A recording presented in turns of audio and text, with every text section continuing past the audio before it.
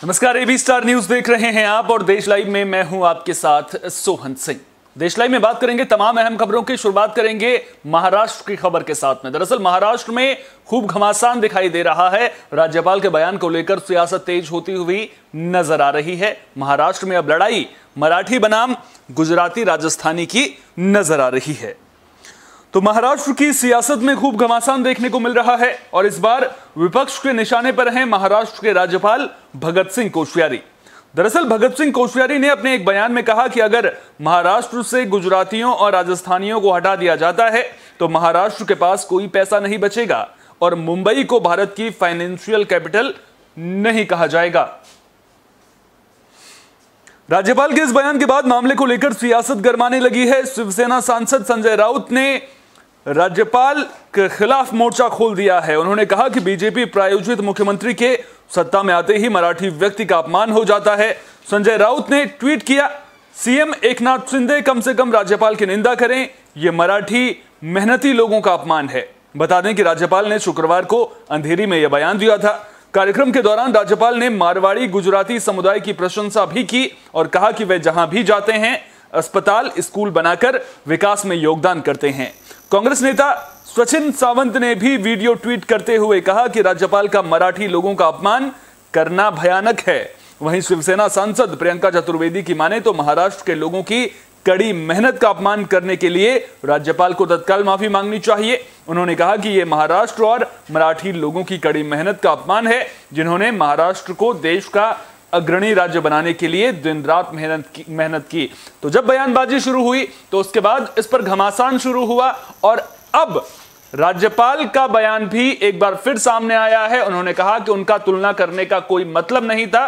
तुलना वो नहीं करना चाह रहे थे। केवल गुजराती और राजस्थानी लोगों की प्रशंसा वो कर रहे थे। इसका मतलब ये नहीं है कि वो मराठी लोगों को नीचा दिखाने की कोशिश वहाँ पर कर रहे थे।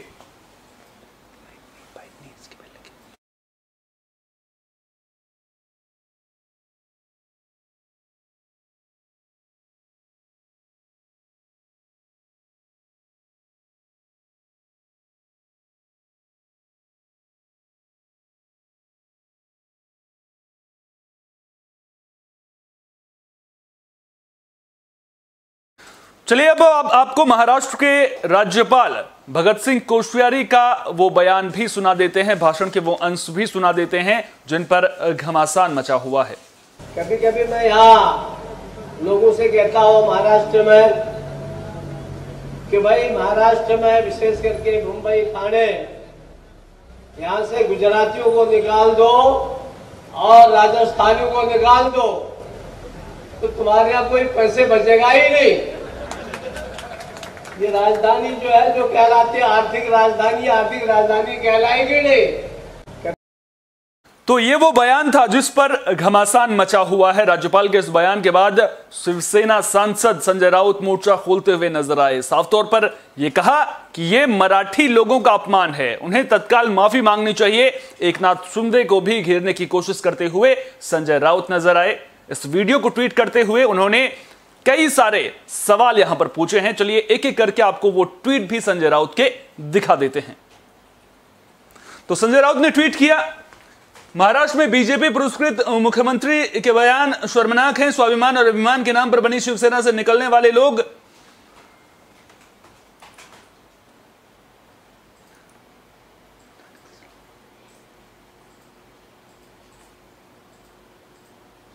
तो वो ट्वीट आपकी स्क्रीन पर चल रहे हैं।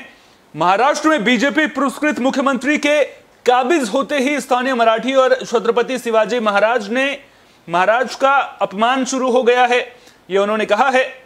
इसके अलावा उन्होंने कहा कि स्वाभिमान और अभिमान के नाम पर बनी शिवसेना से निकलने वाले लोग ये सुनकर भी चुप बैठे हैं तो सीएम सिंधे कभी शिवसेना का नाम ना लें। राज्यपाल का विरोध तो करें। ये मराठी मेहनतकशों का अपमान है।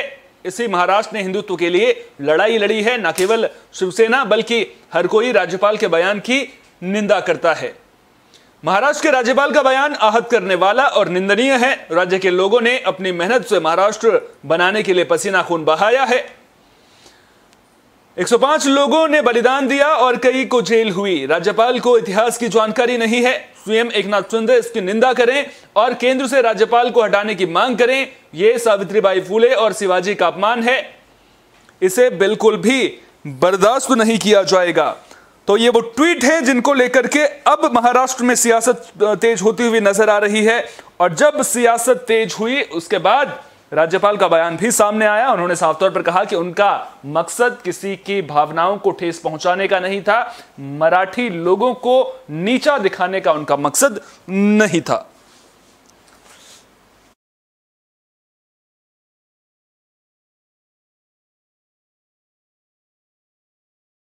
चलिए अब बात उत्तराखंड बीजेपी की भी कर लेते हैं। दरअसल उत्तराखंड में बीजेपी के नए प्रदेश अध्यक्ष को लेकर अटकलों का सिलसिला लगातार शुरू हो चुका था और अब बीजेपी को नया प्रदेश अध्यक्ष उत्तराखंड में मिल गया है।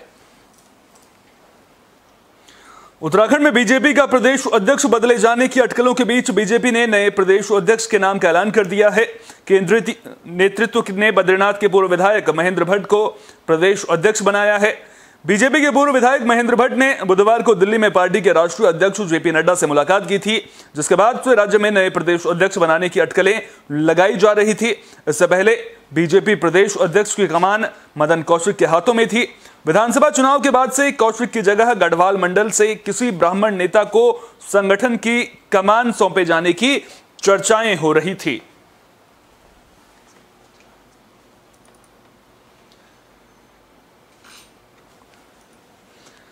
आखिर महेंद्र भट्ट कौन है जिन्हें उत्तराखंड बीजेपी की कमान मिली है? तो बता दें कि उन्नीस से उन्नीस सौ छियानवे तक वो एबीवीपी के सचिव रहे।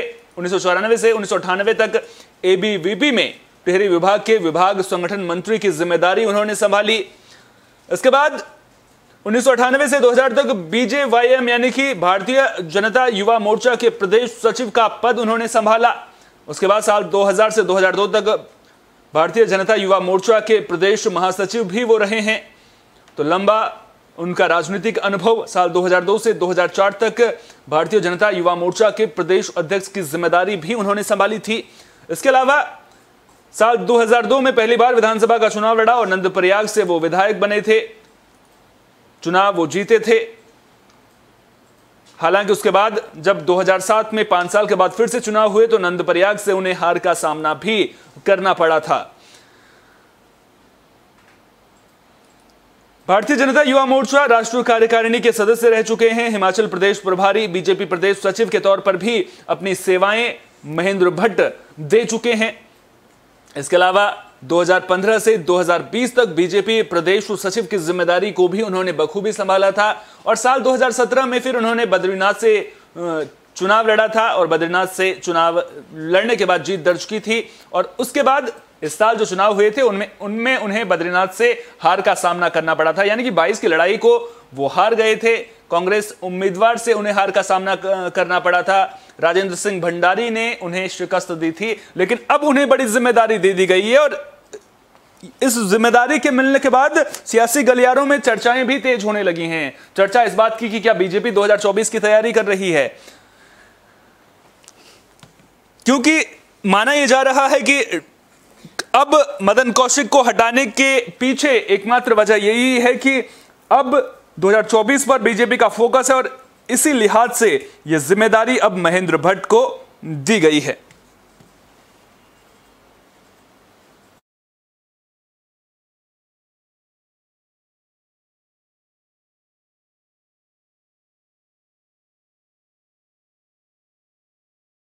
जम्मू कश्मीर में सेना का ऑपरेशन ऑल आउट लगातार जारी है। लगातार आतंकियों का खात्मा यहाँ पर किया जा रहा है। इसी कड़ी में बारामूला में सुरक्षा बलों को बड़ी कामयाबी मिली है। बारामूला में हमले की योजना बना रहे आतंकियों में से एक को सुरक्षा बलों ने मार गिराया है। मारे गए आतंकी की फ़िलहाल पहचान नहीं हो सकी है। ये स्थानीय आतंकी बताए जा रहे हैं। बता दें कि ये मुठभेड़ बारामूला के वानेगाम बाला इलाके में हुई है। मुठभेड़ में सेना के दो और पुलिस का भी एक जवान घायल हुआ है। घायलों को नजदीकी अस्पताल में भर्ती किया गया है। सुरक्षा बलों ने एक आतंकी के मारे जाने के बाद दूसरे आतंकी को एक बार फिर हथियार डालने का मौका दिया, लेकिन आतंकी ने गोलीबारी जारी रखी थी। मिली जानकारी के मुताबिक बारामूला के वानीगाम बाला में छिपे कुछ आतंकी सुरक्षा बलों को निशाना बनाने की योजना बना रहे थे, जिसकी जानकारी समय रहते पुलिस को मिल गई थी, जिसके बाद एसओजी के जवान, सेना और सीआरपीएफ की टीम के साथ इलाके में पहुँचे और आतंकियों की तलाश शुरू की।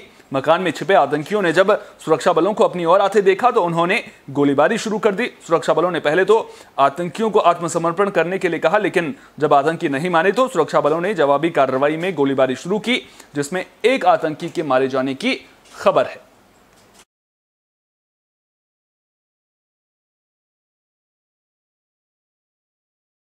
चलिए बात बुलेटिन में कोरोना की भी कर लेते हैं। दरअसल कोरोना के मामलों में लगातार इजाफा देखने को मिल रहा है। लगातार तीन दिनों से मामले बीस हज़ार से ज़्यादा सामने आ रहे हैं। पिछले 24 घंटे में भी बीस हज़ार से ज़्यादा मामले सामने आए हैं, जो टेंशन बढ़ाने वाले हैं।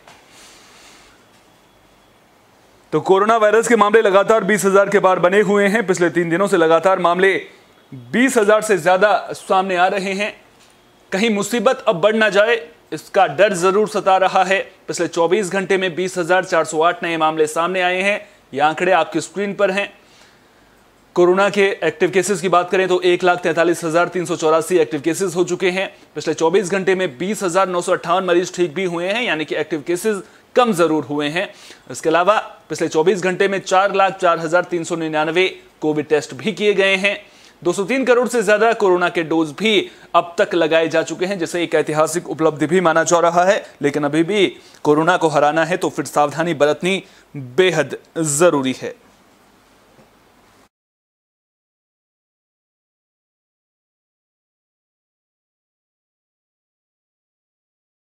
बुलेटिन के आखिर में बात, भारत और वेस्टइंडीज के बीच खेले गए पहले टी मुकाबले की भी कर लेते हैं। दरअसल पहले टी मुकाबले में भारत ने वेस्टइंडीज को अड़सठ रनों से हरा दिया है। आपको बता दें कि कप्तान रोहित शर्मा ने शानदार अर्धशतकीय पारी खेली थी, जिसके बाद भारतीय टीम ने वेस्टइंडीज को एक रनों का लक्ष्य दिया था, लेकिन वेस्टइंडीज की टीम निर्धारित 20 ओवर में महज 122 रन ही बना पाई।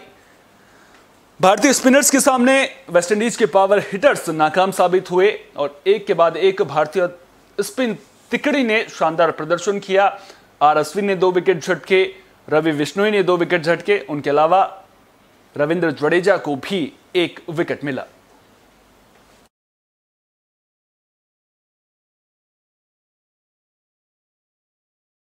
देश लाइव में फ़िलहाल के लिए इतना ही। देश दुनिया की तमाम अहम खबरों के लिए बने रहिए एबी स्टार न्यूज़ के साथ, क्योंकि यहाँ पर खबरों का सिलसिला कभी नहीं थमता।